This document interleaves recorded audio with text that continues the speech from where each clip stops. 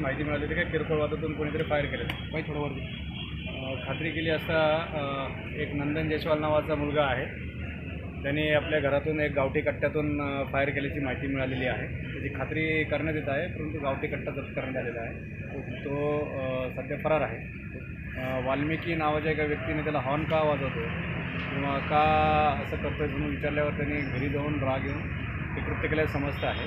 पण त्यामागे आणखी काही कारण आहे का? किंवा यांच्यात काही परस्पर आपसात काही वाद होते का? ती माहिती घेणं चालू आहे.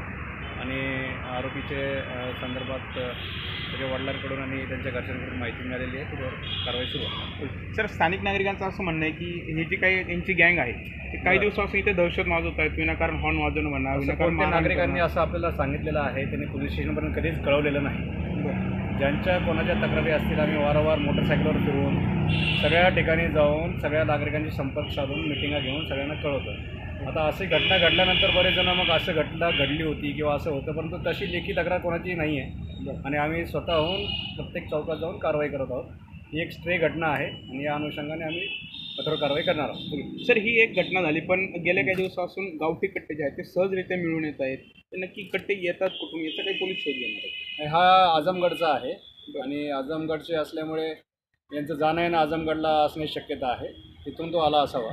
आता तो मुलगा आल्यानंतर त्याच्या तपासात समजेल.